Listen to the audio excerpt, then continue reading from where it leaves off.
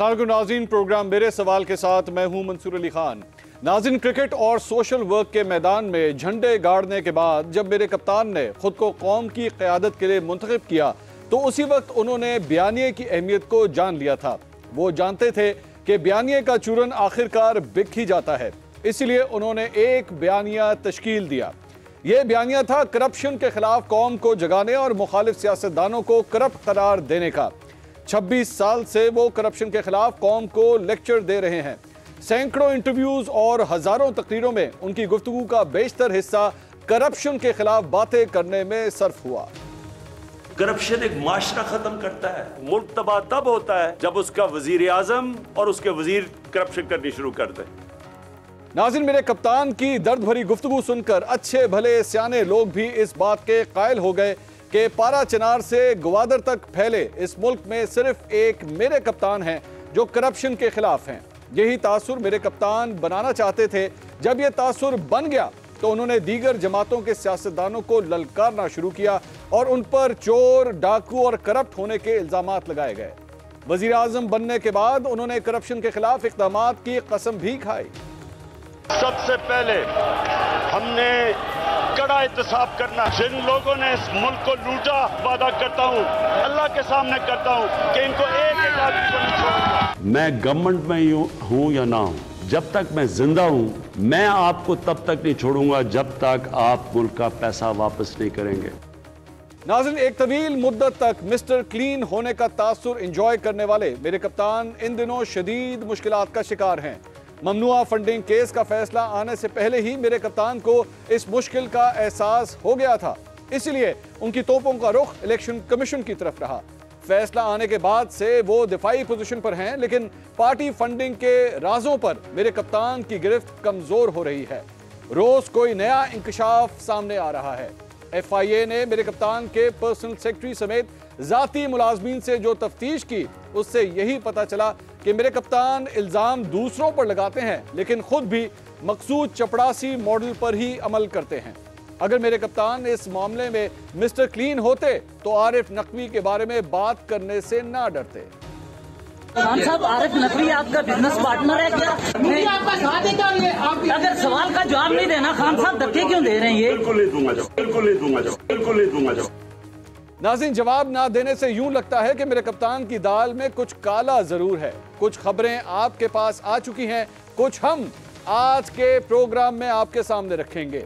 घर के भेदी मेरे कप्तान की लंका ढाने पर उतर आए हैं। देखते हैं मेरे कप्तान इन इल्ज़ाम का जवाब देते हैं या कोई नया बयानिया तख्लीक करके जान बचाने की कोशिश करते हैं। नाजिन, आजकल मेरे कप्तान की परेशानी की सबसे बड़ी वजह इलेक्शन कमीशन ऑफ़ पाकिस्तान की वो रिपोर्ट है, जो ममनुआ फंडिंग केस से मुतलिक सामने आती है, जिसके अंदर अरबों रुपए की ऐसी ट्रांजेक्शन हैं, जिसका जवाब देने से पाकिस्तान तहरीक इंसाफ फ़िलहाल कासिर है। उनको शो कॉज नोटिस जारी किया जा चुका है। अब देखते हैं पाकिस्तान तहरीक इंसाफ की जानब से जवाब क्या आता है।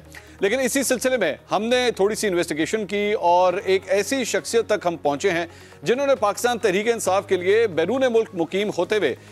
कई फंड्स इकट्ठे किए, उनको पाकिस्तान ट्रांसफ़र भी किया। इसके साथ साथ चंद ऐसी दस्तावेजात भी हम आपके सामने रखेंगे, जो पाकिस्तान तहरीक इंसाफ की इंटरनल दस्तावेजात हैं, उनकी ऑडिट रिपोर्ट्स हैं, जिससे ये वाज होता है कि वो चार मुलाजमीन, जिनके बारे में पाकिस्तान तहरीक इंसाफ ये कहती थी, या इमरान खान साहब को पता नहीं था, ये कहा जाता था, वो डॉक्यूमेंट्स प्रूफ करेंगे कि उन चार मुलाजमीन को पाकिस्तान तहरीक इंसाफ की जानब से ये इजाज़त दी गई थी कि वो पार्टी के लिए फंड्स इन्हीं अकाउंट्स में, अपने जाती अकाउंट्स में इकट्ठे करना शुरू करें। इस सिलसिले में मजीद गुफ्तु करेंगे। पाकिस्तान तहरीक इंसाफ अमरीका के सबक रुकन महबूब असलम साहब इस वक्त हमें अमरीका से ज्वाइन कर रहे हैं, ज्वाइन कर रहे हैं और सीनियर तजियाकार मोहसिन बेग साहब भी आज हमारे साथ मौजूद हैं। और आगे चल के पाकिस्तान तहरीक इंसाफ की सबका बानी रुकन फौजिया कसूरी साहिबा भी हमारे साथ मौजूद होंगी। महबूब असलम साहब से गुफ्तु का आगाज़ करते हैं। महबूब साहब, बहुत शुक्रिया, आपने हमें अमरीका से ज्वाइन किया। सबसे पहले ये बताइएगा कि जब आप पाकिस्तान तहरीक इंसाफ में थे और दो हज़ार नौ, दस, ग्यारह और उन, उस टाइमिंग के दौरान जब आप पार्टी के लिए फंड्स इकट्ठे करते थे तो आपकी जिम्मेदारियाँ क्या थी उस वक्त पार्टी में? जी, बिस्मिल्लाहिर्रहमानिर्रहीम। बहुत शुक्रिया मंसूर साहब कि आपने इस एक अहम मौजू पर मुझे दावत दी कि मैं इजहार ख्याल कर सकूँ। आपके सवाल का जवाब ये है कि जब मैंने ये पार्टी ज्वाइन की तो पीटीआई का सेटअप कुछ इस तरह से है बैरून मुल्क में, कि इनके चैप्टर्स हैं।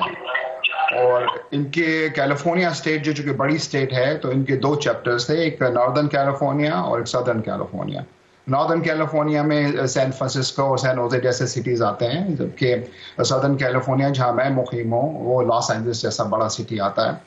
तो जब मैंने चैप्टर ज्वाइन किया तो हमारी मेन जो एक्टिविटीज़ थी, वो यही थी कि हम मेंबर साजी करें. और उसके लिए ख़ासतौर पर मैं अपना ज़ाती तजर्बा बता सकता हूँ कि हम लोकल जो मसाजिद थी, उन मसाजिद में फ्राइडे की जो गैदरिंग होती है, वहाँ पे हम कम्युनिटी के लोगों से जिसे कहते हैं उनको कन्वेंस करने की कोशिश करते थे कि पाकिस्तान में इमरान खान साहब का साथ दें और या का नाम दो या का नस्ताइन जैसा कलमा पढ़कर ये साहब उठें तो ये सिर्फ़ अल्लाह की मदद मांगेंगे और अल्लाह की इबादत करते हैं। तो इसका मतलब ये है कि जितने भी रवायती जो पावर सेंटर्स हैं, जिस तरह से पाकिस्तान में स्टैब्लिशमेंट है या करप्ट सियासतदान है, उनसे ये मदद नहीं मांगेंगे। और ये अल्लाह के नाम पे खड़े हुए हैं तो हम जैसे पाकिस्तानियों को इनकी मदद करनी चाहिए। तो जब हम उनकी मेंबर साजी करते थे तो उसके साथ फंड रेजिंग का एलिमेंट भी अटैच होता था। मेंबर साजी जो है, वो टेन डॉलर्स पर मंथ के हिसाब से होती थी। तो जो आप साइनिंग अप पे, अगर आप मेंबर बनना चाहते थे तो आपको हंड्रेड एंड ट्वेंटी डॉलर्स देना पड़ते थे। तो एक तरह से वो हम फंड रेजिंग करते थे मेंबर साजी के साथ साथ और इसके बाद जो बड़ी ज़िम्मेदारी थी कि इनके अहदेदार खासतौर पर इमरान खान खुद भी अमेरिका जब तशरीफ़ लाए थे तो उस वक्त भी हम इनकी फंड रेजिंग किया करते थे। और ख़ासतौर पर फौज कसूरी साहिबा ये बहुत एक्टिव थी। ये शौकत खानम के लिए पहले भी फंड रेज करती रही अमेरिका में और बाकी जगह पे भी। तो इनका भी एक दो दफ़ा आना जाना हुआ। तो जब इन जैसे अहदेदार आते थे तो हम लोकल चैप्टर्स जो हैं वो आ, आ, आ, लोकल कम्युनिटीज़ में इनके फ़ंक्शन अरेंज करते थे फंड रेजिंग फ़ंक्शन और पैसा इकट्ठा करके। हमारे यहाँ एक आपको याद होगा कि जो सेटअप था कि यहाँ पे एक P T I U S L L C के नाम से एक लिमिटेड कंपनी फॉर्म की गई थी और उस कंपनी के अकाउंट में पैसा सारा जमा होता था और यहाँ से पीटीआई के जो अकाउंट है पार्टी अकाउंट्स में पैसा चला जाता था। तो ये मेरी ज़िम्मेदारी थी जी मोर लेस अच्छा ये बताइए महबूब साहब, आपने जितनी देर आप ये काम करते रहे तो रफली कितने तकरीबन पैसे इकट्ठे किए होंगे आपने? देखिए जी ओवरऑल तो जहाँ 2013 की अगर बात नहीं चुकी इलेक्शन का फोकस था, वो इलेक्शन आ रहा था उस जमाने में तो ओवरऑल जो अमेरिका से पैसा जमा तकरीबन साढ़े तीन मिलियन डॉलर था। और हमारा अगर जो लोकल चैप्टर है, चूँकि लॉस एंजल्स बड़ी जगह है तो हम one of the top chapters थे जो फंड रेजिंग किया करते थे मुझे याद है कि इलेक्शन से पहले इमरान खान अक्टूबर, नवंबर 2011 में तशरीफ़ लाए थे लॉस एंजल्स और मेरी टीम ने जाकर उनको रिसीव किया था लॉस एंजल्स एयरपोर्ट पे। और फौजिया कसूरी साहबा भी मौजूद थी। अगर आपके प्रोग्राम में थोड़ी देर बाद आती हैं तो वो उस चीज़ की गवाही दे सकती हैं कि जब उनको हमने रिसीव किया तो उस एक दिन या डेढ़ दिन का जो इवेंट था, उसमें हमने तकरीबन साढ़े तीन लाख डॉलर जमा किया। तो क्वाइट अ बिट मनी अच्छा तो आपके उसके बाद इख्तलाफात कहाँ से शुरू हुए इमरान खान साहब? क्योंकि ये आपने चंद डॉक्यूमेंट्स भी जो मेरे साथ शेयर किए हैं एक ऑडिट रिपोर्ट है पाकिस्तान तहरीक इंसाफ के आ, एक मिनट्स ऑफ़ मीटिंग है फाइनेंशियल बोर्ड की 2011 की। इसके ऊपर तो खैर बाद में आते हैं। लेकिन आ, आपने आ, उसके बाद एतराज़ात उठाना शुरू किए। आपको पता लगा कि माली बेजाबतियाँ हो रही हैं और कुछ पैसे ट्रेस नहीं हो रहे? जी जी। देखिए, ये 2013 में जब इलेक्शन था तो मैं और कुछ साथी जो हैं, वो फंड्स लेके, अपने जाती फंड्स लेके, हमने कहा कि 2013 का जो इलेक्शन है, इस बहुत क्रूशल इलेक्शन है पीटीआई के लिए। और हम इमरान खान की इलेक्शन कंपेन चलाने के लिए अमेरिका से सीधा हम पाकिस्तान पहुँचे। और वहाँ पे ग्राउंड पे हमने इलेक्शन कंपेन की, और वक्त उनके election campaign manager Asad Umar थे। तो उस वक्त ना सिर्फ़ हमने असद उमर वाला को भी पैसे दिए अपने जाती, जिसे कहते हैं जाती पैसा, जो कि हम पार्टी को, की खिदमत करना चाह रहे थे, इलेक्शन कंपेन का वक्त ऐसा होता है। लेकिन जब उस जमाने में इमाम खान जो हैं, उनका वो कंटेनर का हादसा भी हुआ था, और ये हॉस्पिटल में एडमिट थे, और हम इनसे जाके इनके हॉस्पिटल में मिले इनसे। तो वहाँ पे मेरी मुलाकात जो है हफीजुल्ला न्याजी साहब से हुई। और मैं चूँकि ज़्यादा बढ़ चढ़ के बोल भी रहा था मीडिया को कुछ इंटरव्यूज़ दे रहा था तो वो मुझे दूर से शायद ऑब्ज़र्व कर रहे थे। तो वो मेरे पास आने का कि महबूब साहब, आप काफ़ी अच्छा बोलते हैं, बड़े पैशनेट हैं और आप अमेरिका से भी आए हुए हैं। तो आप हमें थोड़ा वक्त दें, हम आपके साथ बैठना चाहते हैं, पार्टी के इंटरनल मामला में कुछ इश्यू है। तो मैंने कहा, जी, भी वाई नॉट बिल्कुल, आप आप एक सीनियर अहदेदार हैं पार्टी के और मैं आपसे बिल्कुल मिलना चाहूँगा। तो उन्होंने जो मीटिंग सेट की, वो अकबर शेर बाबर के घर पे थी। तो अकबर शेख बाबर से मेरी पहली मुलाकात वहाँ हुई और उन्होंने उनका जो जो इंट्रोडक्शन था वो भी बड़ा जिसे कहते हैं भारी इंट्रोडक्शन था कि वो पार्टी के बुनियादी जिसे कहते हैं ना कि बानी अरकान में से थे। तो उन्होंने हमसे ये बात की कि देखें आप जो ओवरसीज में पैसा जमा होता है और यहाँ पे जब पैसा आता है तो वहाँ बड़ी बेजाबतियाँ हैं और उन्होंने मेरे सामने कुछ ये आज जो ये चार पाँच मुलाजमीन हैं इनमें से एक दो मुलाजमीन की ज़ाती बैंक अकाउंट्स की स्टेटमेंट्स मेरे सामने रखी कि भाई इस आदमी की तनख्वाह जो है पंद्रह बीस हज़ार रुपए है लेकिन इसके अकाउंट में ये दो दो तीन तीन लाख महीने का जमा हो रहा है तो ये जो पैसा है ये इम्बेजल होता है। जब ये इनके प्राइवेट अकाउंट्स में आता है ये पार्टी के अकाउंट से अलग से अकाउंट है इनके प्राइवेट और ये एक नहीं है मल्टीपल अकाउंट्स हैं। तो ये पैसा फिर यहाँ से साइफन होता है। तो उन्होंने इल्ज़ाम लगाया कि ये सैफुल्ला न्याजी उस वक्त एडिशनल जनरल सेक्रेटरी थे पार्टी के अब भी हैं वो। इस आमिर जो पिछले दिनों दवाई दवाइयों के उसमें स्कैंडल में पार्टी से निकाले निकल, अपनी वजारत से हाथ धो बैठे रहा वो पार्टी के सीनियर अहदेदार अब भी हैं। तो ये जो लोग हैं, इन्होंने साइड पे इस पैसे से ये इन्होंने रियल स्टेट के बिजनेसेस खड़े किए हुए और ये बनी गाले के आसपास ये ज़मीन खरीदी हुई है, और फिर ये पार्टी की जो सेंट्रल एग्जेक्टिव कमेटी है, उन लोगों को ये ये दी जाती है कि ज़मीन आप ज़मीन खरीदें, और आपको सेंट्रल एग्जेक्टिव कमेटी की मेंबरशिप दी जाएगी। और उस वक्त उन्होंने असद कैसर जो कौमी असम्बली थे एक्स स्पीकर और आरिफ अलवी जो मौजूदा सदर है इनके नाम भी गिनवाए कि इन लोगों ने भी उस रियल स्टेट बिज़नेस में इन्वेस्टमेंट की हुए प्लॉट्स खरीदे हुए हैं और बाकायदा उन्होंने प्लाट का वो दिखाया कि किसका प्लाट कहाँ पे है बनी गाला में। तो मेरे तो इसे कहते हैं कि दिमाग उड़ गया कि हम एक ईया का नादू ईया का नस्ताइन जैसे कलमे को लेके और ये जो हशर हो रहा है नहीं लेकिन तो महबूब साहब इसमें इसमें तो सबसे बेहतर तरीका महबूब साहब ये था ना कि आप डायरेक्टली इमरान खान साहब से रबता करते उनसे जाके कंप्लेन करते अगर ऐसी कोई खबरें थी तो उनसे आपने रबता किया क्या? जी मंसूर साहब मैं उसी तरफ़ आ रहा हूँ चूँकि मैं समझता हूँ कि इस वक्त ये जो मौजू है बहुत ज़्यादा हसास है और मैं इसकी सारा बैकग्राउंड देना चाहता हूँ ताकि आपके नाजरीन और सामीन जो है ना इस बात को अच्छी तरह से समझे। इमरान खान जो कहते हैं ना, हाथ उठा के मेरी कौम आप इस बात को समझे तो मैं भी चाहता हूँ कि कौम इस बात को समझे। तो जब सीनियर पार्टी मेंबरान एक ओवरसीज जो मेरे जैसा बंदा जो फंड रेज कर रहा है, उसके सामने बैठ के ये सारी चीज़ें रखते हैं।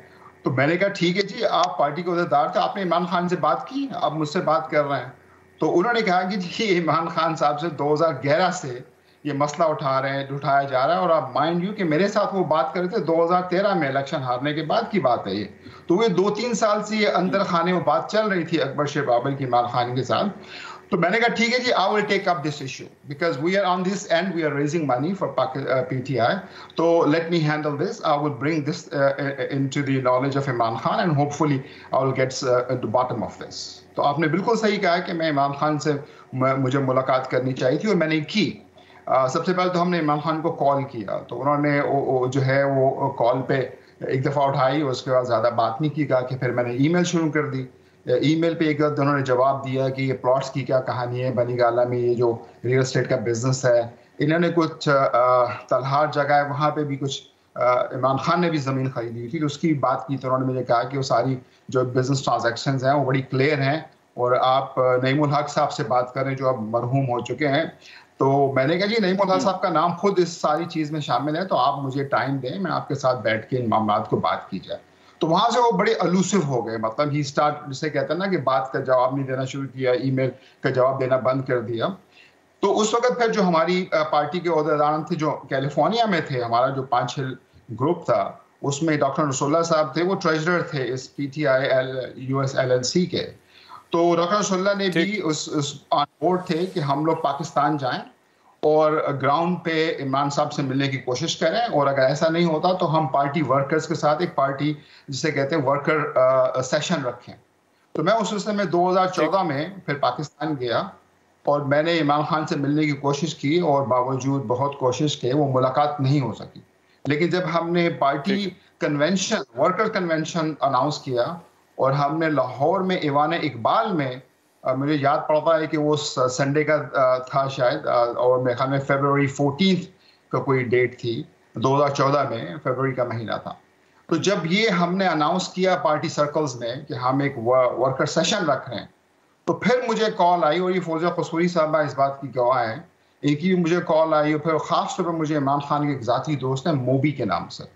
तो उस मोबी की मुझे कॉल आई अच्छा। कि इमरान खान आपसे मिलना चाहते हैं। अब हमारा जो वर्कर सेशन था कन्वेंशन वो हमने संडे को रखा हुआ था। तो इनकी कॉल मुझे आती है फ्राइडे नाइट को कि सैटरडे मॉर्निंग मैं इमरान खान या आफ्टरनून में इमरान खान मिलना चाहते तो हम cutting the long story short here तो हम लोग जो लोकल पार्टी के अहदेदारान थे उसमें रफ़ी खान इमरान खान के बड़े सीनियर दोस्त थे।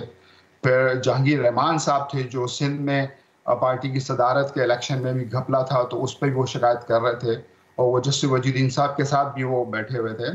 तो हम ये तीन चार सीनियर जो पार्टी अहदेदारान है पाकिस्तान में उनके साथ फिर मैं बनी गाला गया इमरान खान की इनविटेशन पर और उस मीटिंग में जब अच्छा। मैंने ये चीज़ें उनके सामने रखी तो वो मीटिंग बड़ी इंटरेस्टिंग थी। इमरान खान एक तो बहुत ज़्यादा एजिटेटेड नज़र आ रहे थे और दूसरा वो तू तड़ाह करके बात कर रहे थे और उनका पहले ये आ, मतलब स्टैंड था कि ये सारा किया धरा अकबर शेर बाबर का है और आप अकबर शेर बाबर की बात ना सुने। वो डिसग्रांटल है मतलब पार्टी से वो दूर हो गए। तो मैंने उनसे कहा कि देखिए सर मैं यहाँ आपसे अकबर शेर बाबर की डिस्ग्रांटल डिस्कस करने नहीं आया। मैं आपसे डिस्कस कर आया हूँ कि ये मेरे पास आपके पार्टी के जो ऑफ़िस वर्कर्स हैं जैसे छोटा क्लर्क है या अकाउंटेंट है उसमें से ये दो तीन के नाम है और ये उनकी बैंक स्टेटमेंट्स हैं। आप मुझे बता दीजिए कि इनके बैंक हम्म। स्टेटमेंट में जो पैसा आया हुआ है जाती अकाउंट में ये पार्टी का पैसा है? आप इसकी थोड़ी इन्वेस्टिगेट कर इन्वेस्टिगेशन कर लें ताकि हम जो ओवरसीज आपके लिए फंड रेज कर रहे हैं ये हमें इतमान हो जाए कि ये पाकि, पाकिस्तान में जब पैसा पहुँचता है तो ये आगे मिस हैंडल नहीं होता एम्बेजल नहीं होता। इस बात पे वो जवाब देने से है। उन्होंने कहा कि मैं इन अकाउंट्स को देखू अच्छा। आपकी जो बैंक स्टेटमेंट्स हैं इनकी जो सबूत में दे रहा हूँ इमरान खान ने एक साफ़ कह दिया कि मैं इस चीज़ को नहीं देखूँगा। और वो बार बार यही कि तुम अकबर शेख बाबर अच्छा। की बात मत सुनाओ तो ये ये मसला था जब मैंने उनको ज़ोर दिया कि नहीं आप इन मामला को देखें तो इमरान खान ने कहा कि मैं इन चीज़ों को ऑडिट करवा रहा हूँ। ये जो मैंने ऑडिट रिपोर्ट आप अगर शेयर कर सके अपने नाजरीन से तो ये वो ऑडिट रिपोर्ट है जिसका ज़िक्र इमरान खान ने 2014 में मेरी मीटिंग में फेबर में मुझसे किया। और इसका भी एक बैकग्राउंड अगर आपके टाइम हो तो मैं बैकग्राउंड में भी चाहूँगा लेकिन अगर शॉर्ट वर्जन ये था नहीं लेकिन उस मीटिंग में उस मीटिंग में उस मीटिंग में बात तू तरह तक ही रही या आ, उसके बाद मामला रिजॉल्व हुआ? नहीं जी मैं वही आपका ज़िक्र कर रहा हूँ कि जब उन्होंने इस इस पीटीआई इंटरनल ऑडिट का जो हवाला दिया इमरान खान ने कि देखो मैं कितना बेहतर तरीके से इस मामला को देख रहा हूँ मैं तो इंटरनल ऑडिट करवा रहा हूँ। तो वो इंटरनल ऑडिट की हाँ। चूँकि डिटेल्स मुझे अकबर शिव बाबर दे चुके थे और मैं उस वक्त जो ऑडिटर था वो एस एन जलाल साहब हैं लाहौर में उफाम आ भी मौजूद है और S N and S N के नाम से। तो मैं एस एन साहब से बात करके गया हुआ था चूँकि मैं फंड रेजर हूँ तो मैं एक पार्टी हूँ इस सारे खेल में। तो मैंने उनसे एस एन साहब से कहा कि भाई हमारे फंड वहाँ से हम रेज करके देते हैं। तो ये ऑडिट की क्या स्टेटस है? तो उन्होंने मुझे शिकायत का हाँ। पलंदा मेरे सामने रख दिया ऑडिटर ने। उन्होंने कहा जी ये हमें बुक्स नहीं दिखाते पीटीआई वाले इमरान खान जानते हैं। उन्होंने जो इनके अपने इंटरनल अकाउंटेंट हैं उस वक्त ये अजहर तारिक साहब थे इनके फाइनेंशियल सेक्रेटरी थे। तो ये हमें रन अराउंड दे रहे हैं ये हमें पार्टी की बुक्स नहीं दिखाते हैं। और आखिर में जाके बात ये की हुई है कि हमें सिर्फ़ रेवेन्यूज कहते हैं कि जो पैसा आया दो तीन साल में आप उस पैसे की इनकमिंग तो देख सकते हैं लेकिन एक्सपेंडिचर है कि उस पैसे को खर्च कहाँ किया है या उसको किन किन अकाउंट में जमा किया हुआ है वो आप नहीं देख सकते। तो उसने कहा कि मेरे तो हाथ बांधे मैंने लोगों ने।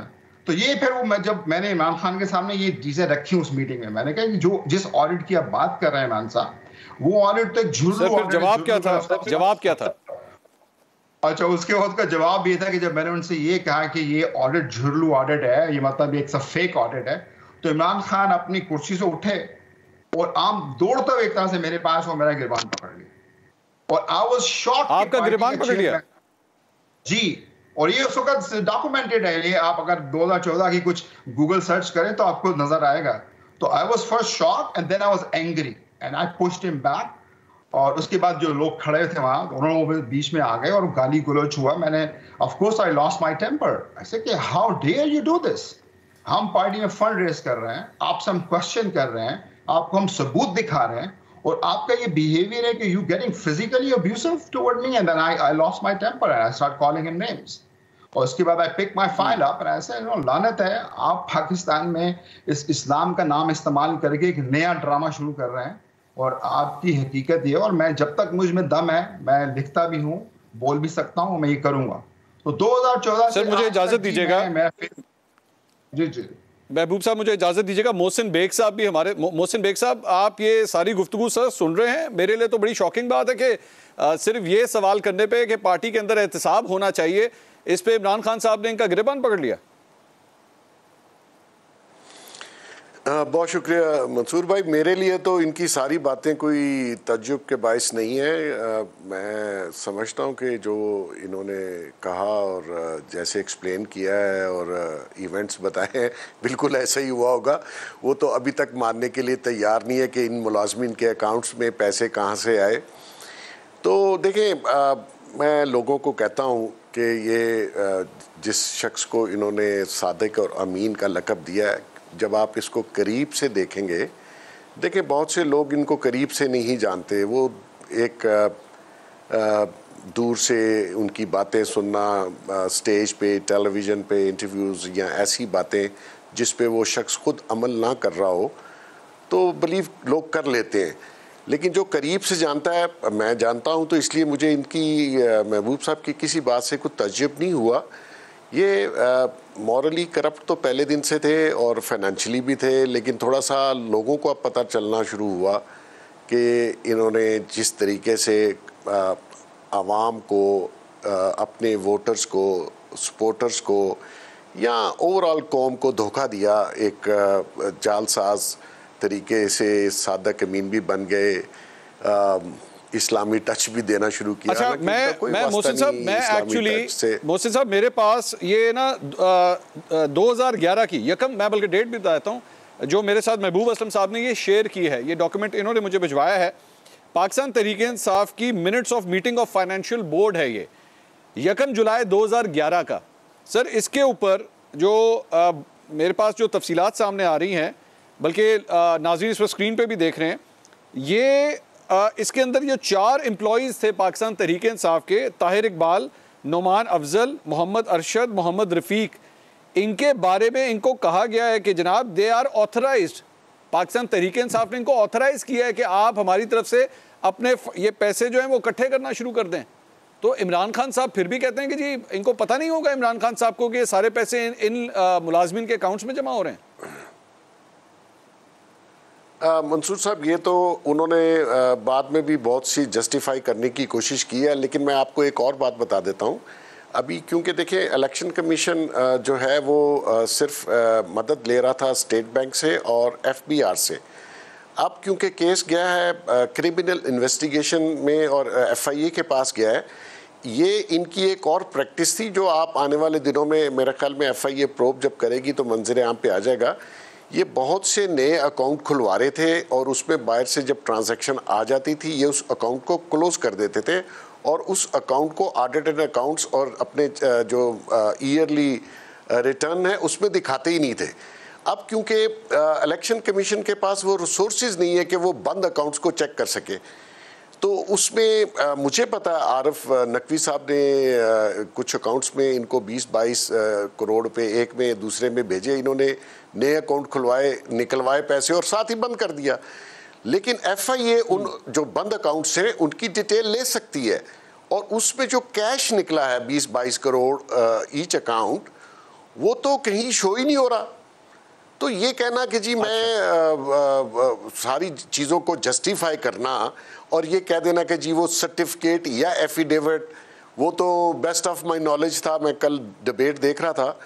देखिए ऐसा नहीं हो सकता कि आप इग्नोरेंस में अपने क्राइम पे से छूट जाए। वहाँ आप मोटरवे पे आप भी गाड़ी चलाते हैं मैं भी चलाता हूँ वहाँ वार्निंग साइन है कि 120 के ऊपर नहीं जाना। फिर वो आगे आपको वार्निंग साइन देते कि कैमरा लगा हुआ है। आप फिर भी वायलेशन करें तो ये तो नहीं हो सकता ना कि आप कहेंगे मैंने देखा नहीं है। ये शख्स हर चीज़ के एक डिटाइल से मैं बेग साहब एक मैंने ब्रेक लेनी है। मुझे ब्रेक का कहा जा रहा है। I want to discuss this further बल्कि मैं महबूब साहब को भी कहूँगा जरा इसके ऊपर मजीद कमेंट करेंगे। जो इलेक्शन कमीशन ऑफ़ पाकिस्तान की जो रिपोर्ट आई है आ, क्या यही एक्सपेक्ट किया जा रहा था? इससे कम एक्सपेक्ट किया जा रहा था? इससे ज़्यादा एक्सपेक्ट किया जा रहा था? ज़रा तफसील से बात करते हैं ब्रेक के बाद।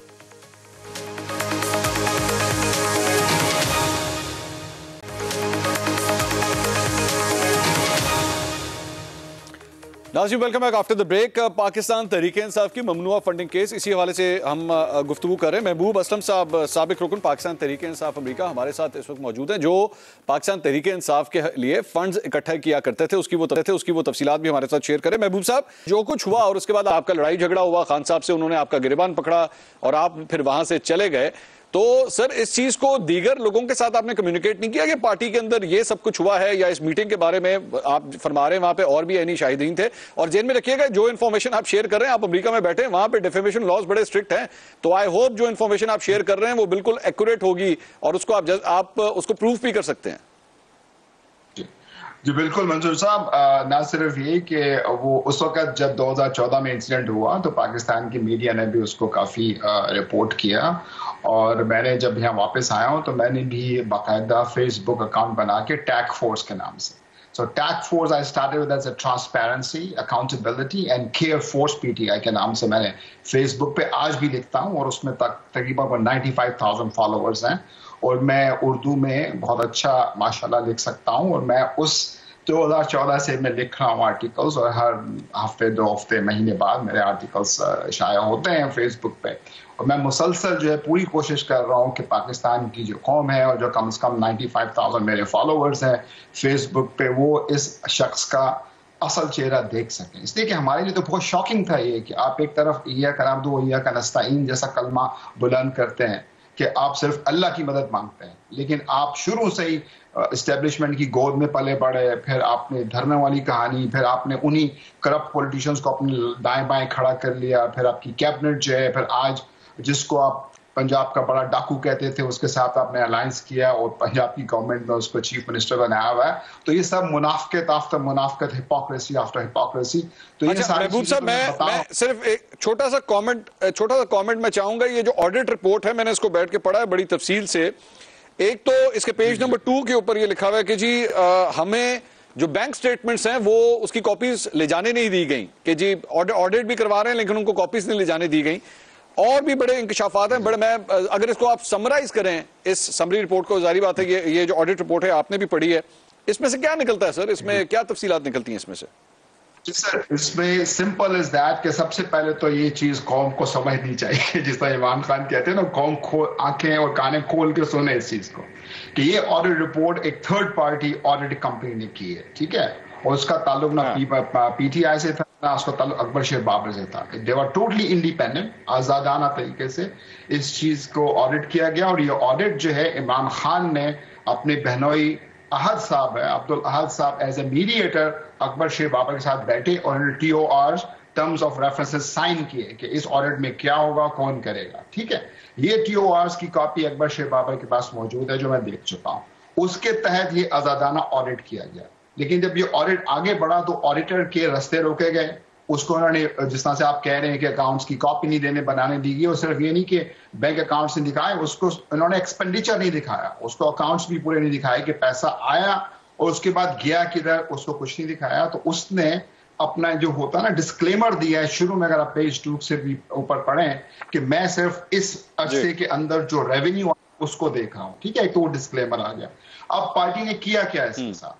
इस पैसे के साथ या जो ऑडिट है उस ऑडिट में उसने फाइंड किया कि जी इस बेजाबती सबसे बड़ी तो ये है कि जो पैसा पार्टी का है ये मुलाजमीन के जाती अकाउंट्स में पड़ा हुआ है। ठीक है ये बात स्टेब्लिश कर दी उसने। अगर पेज नंबर 14 में जाए तो पेज 14 पे उसने ये तीनों चारों जो मुलाजमीन जो आज ईसीपी e आज आठ साल बाद ये डॉक्यूमेंट इसमें इसमें मैं मैं नाजिन के साथ शेयर कर देता हूँ। इसमें लिखा हुआ है जी तकरीबन जो टोटल अमाउंट थी उसमें से इन लोगों से सवाल भी किए गए, जो तकरीबन कोई एक करोड़ नब्बे लाख रुपए टोटल अमाउंट बनती थी अनयूजल क्रेडिट लेकिन इसमें से तकरीबन, अगर उनके जवाब ले भी लिए जाएँ, तब भी इसके बावजूद जो अनएक्सप्लेन्ड है, वो तकरीबन सवा करोड़ रुपया अप्रोक्सीमेटली है, जो जिसके ये लोग जवाब ही नहीं दे पाए कि ये सवा करोड़ इसके अंदर किस तरह आया है।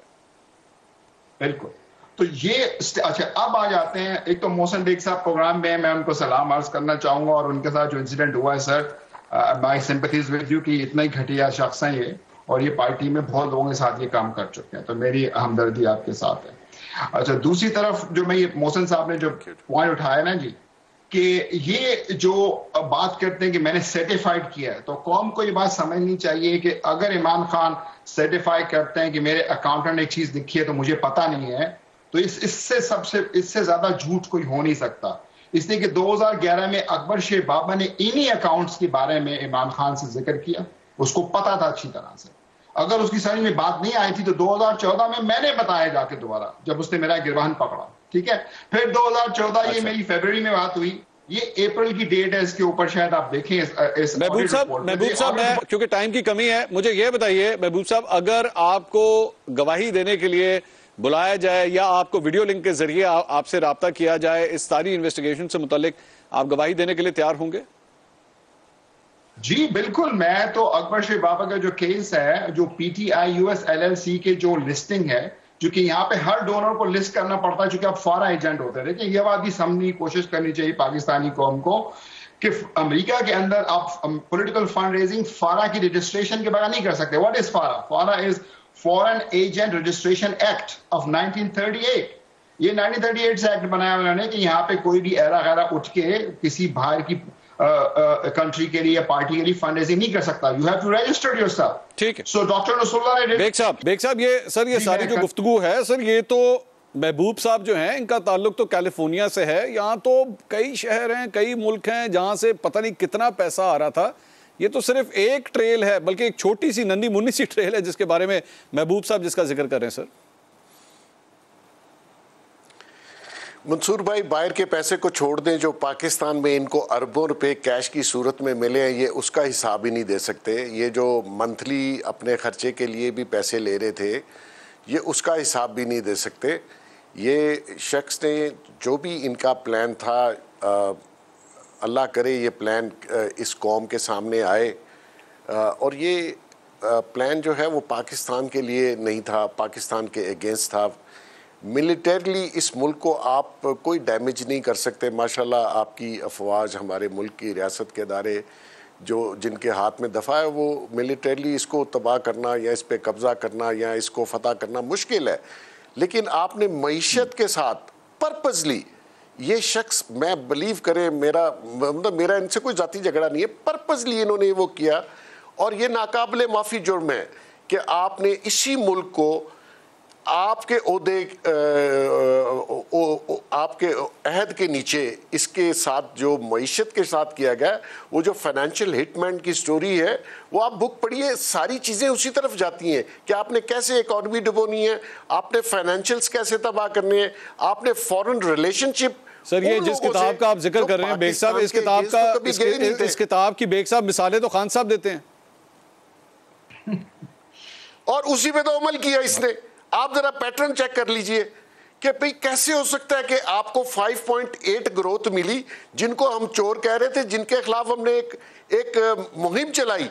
और आप उसको within one and half year उसको कोरोना से पहले कोरोना आने से मंसूर साहब पहले आप उसको माइनस वन पॉइंट फाइव पे ले गए और आज तक हम संभल नहीं सके और अभी भी आप वो शेख रशीद का बयान देख लीजिए, इसका बयान देखें, वो कहते हैं, मुल्क तो तबाह होने जा रहा है और इसमें अफरा तफरी इसी महीने में फैलेगी। क्योंकि देखिए जिस मुल्क में पॉलिटिकल स्टेबिलिटी नहीं आने देंगे वहाँ ग्रोथ या वहाँ मीशत नहीं चल सकती। और ये उसको स्टेबल नहीं होने दे रहा। आप देखिए थोड़ा सा स्टेबल होता है डॉलर नीचे आ जाता है। आपकी बिज़नेस कम्युनिटी पे थोड़ा सा कॉन्फिडेंस आता है। आपकी स्टॉक मार्केट ऊपर जाना शुरू हो जाती ये वो चीज़ें नहीं होने दे रहे। इसकी वजह क्या है? आप क्यों जल से जुलूस करना चाहते हैं? आपको पंजाब की गवर्नमेंट मिल गई। आप इलेक्शन चाहते हैं आप असम्बलियाँ तोड़ दें। आप फेडरल गवर्नमेंट को मजबूर करेंगे, लेकिन आप तोड़ भी नहीं रहे, आप जलसा भी कर रहे हैं, आप रोज बयानबाजी देके अनस्टेबिलिटी आपने अगस्त 13 का ऐलान किया मार्केट अनस्टेबल हो जाएगी। ये चाहते हैं कि ये मुल्क कलेप्स कर जाए। और ये इसका फॉरन एजेंडा है। कुछ लोग बहुत शुक्रिया कुछ लोग इनके साथ शामिल हैं। महबूब साहब बहुत शुक्रिया आपने हमें अमेरिका से ज्वाइन किया। नाजिन इसी मामले पे मजीद बात करेंगे। पाकिस्तान तहरीक इंसाफ की बानी रुकन फौजिया कसूरी साहबा इस वक्त अमरीका से हमारे साथ मौजूद हैं। पाकिस्तान तहरीक इंसाफ की फंड रेजिंग के अंदर उन्होंने भी एक बड़ा अहम किरदार अदा किया और करोड़ों की तादाद में जो पैसा था वो यहाँ पे पाकिस्तान तहरीक इंसाफ के लिए कलेक्ट भी किया और यहाँ पे उन्होंने भेजा भी। मजीद उनसे बात करते फौजिया साहबा असलम जी बहुत शुक्रिया आपने हमें ज्वाइन किया। फौजिया साहबा, थोड़ी देर पहले महबूब असलम साहब असलम साहब हमारे साथ मौजूद थे और जो तफसीलात उन्होंने शेयर की हैं, उन्होंने यहाँ तक कहा कि वो इमरान खान साहब के पास गए और उनको जब बताया कि जी आपके यहाँ पे इंटरनली पैसों का एक प्रॉब्लम चल रहा है बेजाबतियाँ हो रही हैं तो खान साहब गुस्से में आ गए, आके इनका गिरबान तक पकड़ लिया, तू तकरार तक बात चली गई। आप जब वहाँ पे ये काम करती थी और फंड रेजिंग करती थी तो आपके भी उस वक्त शको शुबात थे कि आपने कभी खान साहब से जाके गुफ्तु की? चूँकि आप तो खान साहब के काफ़ी करीब थी उस वक्त। जी, वालेकुम सलाम, मंसूर। देखें मंसूर ये कोई दो दिन की बात तो है नहीं। हम जब फंड रेजिंग किया करते थे और मैं, मेरा तो ऑब्वियसली कोई एक लीडर एक ऐसा इंस्पिरेशनली बस रोल था कि मैं जाती थी, मैं लोगों को रिक्वेस्ट करती थी कि भाई आप हमारी तब्दीली के लिए पाकिस्तान के अंदर आप फंड्स डोनेट कीजिए। जो कि पाकिस्तानी जो यहाँ पर थे, जो हमारे पीटीआई के सपोर्टर्स थे, वो बढ़ चढ़ कर हिस्सा लेते थे। किस तरीके से वो फंड्स पाकिस्तान पहुँचाए जाते थे? किस पहुँचाए कितने जाते थे? क्या रेज होता था? क्या भेजा जाता था? और किस तरह वो फंड्स पाकिस्तान में इस्तेमाल होते थे? उसमें मेरा कोई रोल नहीं था। I just wanted to make this clear first of all रहा ये कि खान साहब को बताने का यस मंसूर ये कोई सीक्रेट तो नहीं थी। हमारे वक्त मैं खान साहब को बहुत दफ़ा कहती थी कि देखें खान साहब मैं जब बाहर जाती हूँ लोग मुझसे पूछते हैं कि हमने मैम फला फला टाइम पे फला फला शहर के अंदर हमने फंड्स डोनेट किए थे। हमने इसलिए किए थे कि भाई आप हमारे गाँव के अंदर ऑफ़िस खोल रहे हैं हमारे हल्के के अंदर डिस्ट्रिक्ट के अंदर। क्या वो ऑफ़िस खुल गया? क्या ऐसा काम हुआ? किस चीज़ में वो पैसे इस्तेमाल हुए? हमारे पास कोई जवाब नहीं होता था। मैंने कई दफ़ा ये रिक्वेस्ट की कि हमारी जो कोर कमेटी है उसके अंदर ये, ये जो भी ये ये किन सालों की बात हो रही है? जरा स्पेसिफिकली अगर आप ये बता दें। देखें मंसूर ये तमाम ही सालों की बात हो रही है but actual active fund raising तो पीटीआई के लिए शुरू हुई है लाइक इन द ईयर 2009 10 उसके बाद से ये सब जगह जगह स्टैब्लिश हुए इनके प्रॉब्लम प्रॉब्लम कब से स्टार्ट हुई? अब प्रॉब्लम का मतलब ये है कि देखिए शुरू में तो इतने पैसे नहीं भी आते थे टाइम लगा कि यहाँ जितने भी इन्होंने तमाम ममालिक में अपने चैप्टर्स बनाए थे उनके अंदर फिर मेंबर्स बनाए। एक तो मेंबर्स बनने की फ़ी होती थी एकदम ओवरनाइट ऑफ़िस खुलते के साथ मेंबर्स हज़ारों में नहीं बन गए। आपको पता ही है कि इस किस्म का जो डोनर बेस होती है डेटा होता है इसको बढ़ते बढ़ते कलेक्ट करते करते वक्त लगता है। बट द पॉइंट इज़ कि जिस टाइम टाइम के अंदर ये कभी भी क्वेश्चंस अराइज हुए हमने हमेशा खान साहब को कहा। और मैंने भी कहा मगर मुझसे ज़्यादा तो बहुत वोकल अकबर एस बाबर जो हमारे उस वक्त इंफॉर्मेशन सेक्रेटरी थे जो खान साहब के बहुत करीबी दोस्त थे और खान साहब उन पर बहुत एतबार करते थे। मगर आज तक कभी हमारी किसी किस्म का ऑडिट या किसी किस्म की फाइनेंस कमेटी की रिपोर्ट हमारी किसी कोर कमेटी के इससे पेश नहीं की गई। कभी हमें नहीं बताया मेरे पास एक्चुअली एक्चुअली फौजिया साहबा थोड़ी देर पहले हमने ये दिखाए भी हैं बल्कि डॉक्यूमेंट्स हमने दिखाए हैं। Uh, ये मिनट्स ऑफ़ मीटिंग है फाइनेंशियल बोर्ड की पाकिस्तान तहरीक इंसाफ की 2011 की। और इसके अंदर जो बोर्ड के मेंबर्स हैं उसमें सैफुल्ला खान न्याजी सरदार अजहर तारिक कर्नल यूनस आमिर कियानी तारिक आर शेख हमायूं मोहम्मद ये सारे इस बोर्ड मेंबर्स हैं। और ये एक्चुअली पाकिस्तान तहरीक इंसाफ चार एम्प्लॉयज़ को डेजिग्नेट कर रही है कि जी इनके अकाउंट्स के अंदर जो है वो पैसे ट्रांसफ़र किए जाएँगे। तो ये तो एक ऑफिशियल डॉक्यूमेंट है पाकिस्तान तरीके साहब का। इस पर सिग्नेचर्स हैं इन लोगों के। और और ये लोग कहते हैं कि जी, हमें तो पता नहीं था, या इमरान खान साहब को पता नहीं था, ये पीटीआई का अपना डॉक्यूमेंट है। बिल्कुल एब्सोल्युटली जी। कैसे पता नहीं था? सब कुछ पता था और हर चीज़ खान साहब के अप्रूवल से होती थी। और ये तमाम हैंड पिक लोग थे, मंसूर। ये वो लोग थे जो एक जैसे कोई, वो नहीं होते, हम फ़िल्मों में देखते हैं कि ड्रैगन सांप जो होते हैं, वो गार्ड करते हैं एक ट्रेजर चेस्ट को कि भाई ये इतनी बड़ा ट्रेजर और ख़जाना है, इसको गार्ड करना है। इतना क्लोजली ये लोग, इतने क्लोज निट थे एक दूसरे के साथ कि ये इंफॉर्मेशन नहीं शेयर करते थे किसी के साथ। हमें आज तक कभी नहीं मालूम कि क्या पैसे खर्च हुए। हमें कभी नहीं मालूम कि ये फंड्स कितने आए और कितने नहीं आए। यहाँ तक के कि एक टाइम मंसूर मैं आपको बताऊँ as the president of the women wing और हम हमेशा से अपनी विमेन विंग की फंड रेजिंग मंसूर हम खुद करते थे। हम खुद करते थे हमें पार्टी ने कभी किसी जलसे के लिए कभी किसी प्रोग्राम एक्टिविटी किसी चीज़ के लिए कुछ पैसे नहीं दिए। We use to pay for it we use to raise our own funds we never bother to put this burden on the party हमें क्या मालूम कि पार्टी के पास करोड़ों रुपया आ रहा है जो हर तरफ़ से आ रहा है जो अच्छा। हमसे हमें पता भी नहीं है। तो हम तो हेल्प करने के लिए पार्टी को अपने खुद उसमें मिलाते थे कॉन्ट्रीब्यूशंस तो लिहाजा मैंने यहाँ पर एक छोटे सा फंड रेजिंग इवेंट किया कैलिफ़ोर्निया में, जिसमें मेरे कुछ पीटीआई के जो वहाँ के ऑफिशल्स थे, उन्होंने भी हेल्प की। उनको मालूम था कि ये फंड्स जो हैं, ये आईएसएफ के लिए रेज किए जा रहे हैं। तो जब वो पैसे रेज हुए, कोई बीस एक हज़ार डॉलर हुए, और एक मैंने छोटा सा हाई टी अपने बेटी के घर पे यहाँ की, जिसमें मेरी दोस्तें आई, और कोई तीन एक हज़ार डॉलर वहाँ से जमा हुए। मैंने वहाँ से ईमेल लिखी अजहर तारिक को और फाइनेंस जो बोर्ड था कि मैंने ये पैसे रेज किए हैं जब मैं पाकिस्तान आऊँगी आप ये मुझे दे दीजिएगा ये विमेन विंग की अमानत है। मैं ये तमाम चेक्स जो हैं पीटीआई यूएसए को दे रही हूँ यहाँ पर ताकि वो आपको ऑफिशियल चैनल से ऑब्वियसली मैं थोड़ी अपने साथ ला सकती थी। और जो चलते चलते मेरे हाथ में 2000 डॉलर कैश में मैंने फंड रेज की अपनी बेटी के घर पे जिसमें से 500 डॉलर तो मेरी बेटी ने ही दिए थे। वो मैं उस वक्त मेरे पास टाइम नहीं था कि मैं उनका चेक बनवा के वो और वो मेल करती पीटीआई यूएसए को। वो मैं कैश में अपने साथ लेके आई और मंसूर जिस दिन मैं पाकिस्तान पहुँची उसके दूसरे दिन लाहौर के अंदर एक मार्की में बहुत बड़ा इवेंट हो रहा था इंसाफ स्टूडेंट फेडरेशन का। मैं मुझे इन्होंने इनवाइट किया हुआ था। I went there I had the money in cash with me वहाँ पर मैंने ये पैसे 10 20 लड़के मेरे इर्द गिर्द खड़े हुए थे। वहाँ रफ़ी खान हमारी पार्टी के बहुत एक मोजिज मेंबर थे जिन्होंने पार्टी की बहुत इमदाद की जो लाहौर में रहते थे वो ने उन्होंने ये आईएसएफ के लिए कैंपेन को लीड कर रहे थे। वो वहाँ मौजूद थे और मैंने 2000 डॉलर कैश में फर्रुख हबीब के हाथ में दिए उस वक्त। ये बच्चे मुझे नहीं मालूम वो कौन कौन से लड़के थे मगर वो डेफिनेटली गवाह हैं। रफ़ी खान इस बात के गवाह हैं और फर्रुख हबीब मैं नहीं समझती कि मुँह कर सकते मुँह कर जाए। तो हमें तो कभी पता ही नहीं था हमने तो अपनी तरफ़ से जब हो सका। मगर मैं आपको ये बताना चाह रही थी कि जब मैं पाकिस्तान वापस आई हूँ उस वक्त उस जमाने में डॉक्टर अलवी हमारे सेक्रेटरी जनरल बहुत सालों तक रहे। और हर टाइम ये लोग तंजीमें डिसॉल्व कर देते इनकी मर्ज़ी के लोग नहीं होते थे या इनको कोई भी इशू किसी से होता था कोई क्वेश्चन आंसर ज़्यादा होते थे ये तंजीम डिसॉल्व कर देते थे। इन्होंने विमेन विंग को डिसॉल्व कर दिया था। तो मैंने कोर कमेटी के अंदर जिसमें इमरान खान साहब खुद भी बैठे हुए थे मैंने वहाँ ये कहा कि ये पैसे मैंने रेस किए थे, ये विमेन विंग की अमानत है और आपके जो फाइनेंस बोर्ड है, ये इन पैसों को रिलीज़ नहीं कर रहा।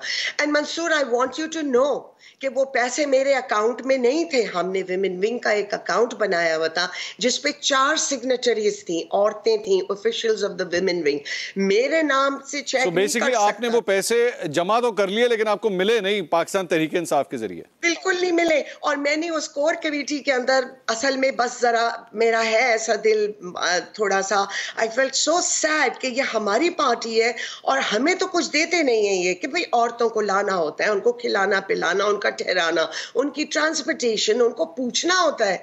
तो हमें चार पैसे अपने रेस किए तो आपने उनको जब्त कर लिया जबकि आपके पास इतना करोड़ों रुपया हर तरफ़ से आता था and I was also the person who was helping to raise that money and yet इन्होंने वो पैसे हमारे और आप बिलीव कीजिए कि वो पैसे कभी इन्होंने विमेन विंग को रिलीज़ नहीं किए।